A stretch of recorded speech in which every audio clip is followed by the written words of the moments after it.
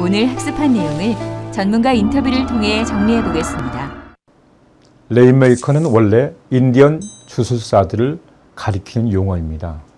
이들은 가뭄이 오래 지속되면 비가 내릴 때까지 기우제를 계속 지냅니다.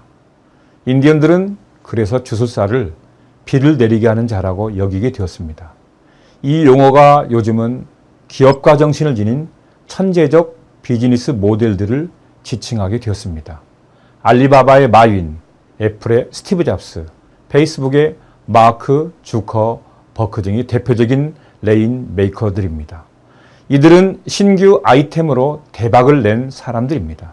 16세기 대항해의 시대에도 영웅 바스코 다가마가 있었는데 그도 rainmaker였습니다. 그는 1497년 포르투갈을 출발해서 희망봉을 돌아 인도에 도착했습니다. 세계 최초의 세계 항해 일주였죠. 비로소 그때부터 인도로 가는 뱃길이 개척되었습니다. 포르투갈은 16세기 세계적인 제국이 될 수 있었습니다. 그 공로 때문에 바스코다 가마는 인도의 총리가 되었습니다. 우리 주변에 혁신적 사례가 드물지 않게 발생은 합니다만은 그것들이 상업화되지 않으면 곧 사장되고 맙니다. 만일 인터넷도 발명되기만 하고 상업화되지 않았다면 정보화 사회가 되지 못했겠죠. 네임메이커는 바로 인터넷을 상업화시키는 그런 역할도 합니다. 그래야 신규 수요가 창출되고 일자리도 증가합니다. 인류의 발전은 혁신적인 아이디어 못지않게 이 아이디어를 바로 상업화시키고 대중화시키는 것에서부터 출발합니다. 이 성계와 주원장 마크 주커 버크는 어떻게 했을까요?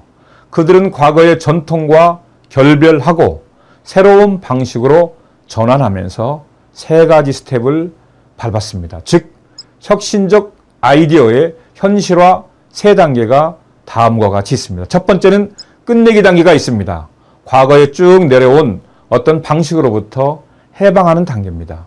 두 번째 단계는 전환 단계가 있는데 새로운 방식에 대한 이해와 적응이 아직 중간지대에 있는 분들에게는 덜 돼 있는 거죠. 이, 분들이 새로운 방식으로 전환할 수 있도록 하는 겁니다. 세 번째는 새로운 출발의 단계입니다. 새로운 방식에 대해서 이해하고 익숙하게 그때부터 행동하게 됩니다. 이성계나 주원장, 마크 주커버크, 마인 등은 처음 기업을 세우고 그리고 여러 번 실패했습니다. 그럼에도 불구하고 그 실패를 경험하면서 자신을 키우고 유의 세 단계를 거치면서 도전적으로 재투자를 지속해서 결국 세계적인 부를 거머쥐었습니다. 우선 내 비즈니스에 대하여 확신이 필요합니다. 그 확신의 권위는 시대의 흐름과 조화가 될 때 생겨납니다. 두 번째, 미래의 방향과 맞기만 하다면 한 가지 방식에만 굳이 고집할 필요가 없습니다. 방식의 변경이 방향의 포기는 아닙니다. 산 정상을 향해 올라갈 때 굳이 한 가지 길만 고집할 필요는 없는 것 같습니다. 최신 뇌과학에 의하면 창의성은 내가 성취하고자 하는 어떤 신념을 끈질기게 실행하면서 나온다는 것이 밝혀졌습니다. 세 번째, 올바른 방향이 정해졌다면 항시 그 방향에 대해서 갈망하고 어떻게 하면 그 방향에 빨리 도착할까 도전거리를 찾으시기 바랍니다. 이 성계는 대륙에 당시 불고 있던 새로운 사조에 맞춰서 불교의 나라였던 고려를 바꿀 방법을 찾고 그리고 찾고 또 찾았습니다.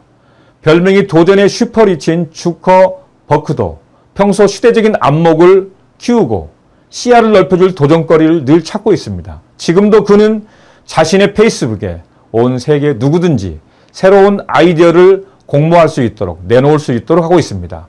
슈퍼 리치들의 특징 중의 핵심은 끊임없이 반복되는 도전 그리고 실패해서 다시 도전해서 결국 성공하는 것들이 그들의 특징입니다. 그들은 한번 옳다고 믿으면 주위에 흔들리지 않고 끝까지 나가서 성공하는 사람들입니다. 마크 주커버크는 이렇게 얘기했습니다. 만약 당신 집에 저녁 식사를 먹는데 맛이 없다. 그러면 직접 원하는 대로 만들어서 먹어라. 비즈니스를 하고 싶은가? 그렇다면 사람과 사람을 연결하라. 그것이 바로 비즈니스이다.